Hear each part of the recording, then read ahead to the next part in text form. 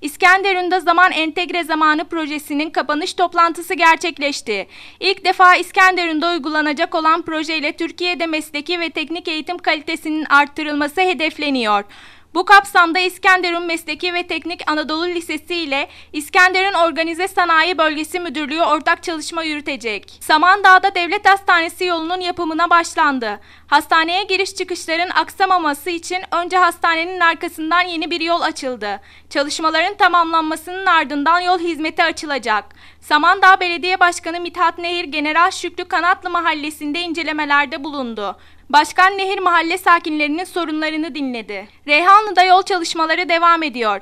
Belediye Başkanı Hüseyin Şanverdi, Bahçeli Evler Mahallesi 306 ve 276. sokaklarında yapımı devam eden parke taşı döşeme çalışmalarını yerinde inceledi. Hatay Güney Rüzgarı Ağustos sayısı çıktı. Dergiyi gazete bayilerinden bulabilirsiniz.